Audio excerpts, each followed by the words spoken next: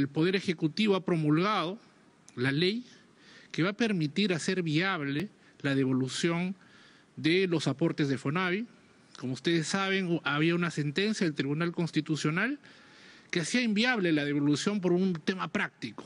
Muchos fonavistas no tienen la información para demostrar que hicieron los pagos efectivos. Con esta norma, que si bien es cierto, lo ha aprobado el, Congreso, pero se ha coordinado con el Ejecutivo y bajo el mandato expreso de la Presidenta, ahora la Comisión del FONAVI podrá establecer un procedimiento para la devolución de aquellas personas que tengan información incompleta, que son los que no han cobrado hasta la fecha.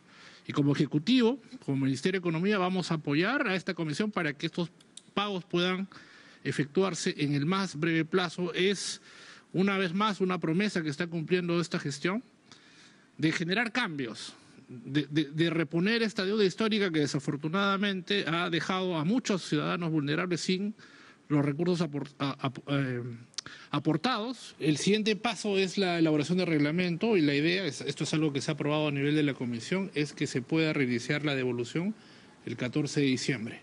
Así que estamos apostando para que para esta Navidad los fonavistas puedan cobrar porque ya van a tener cuentas individuales, hay recursos cerca de 2.400 millones y si sumamos las cuentas por cobrar, eh, los recursos que tiene el fondo llegan alrededor de 5.000 millones más. El día de hoy se ha aprobado un decreto legislativo que va a permitir ampliar el espectro de obras paralizadas. Estamos hablando de potencialmente 1.269 obras que se podrían justamente reactivar con los procedimientos que se han aprobado el día de hoy.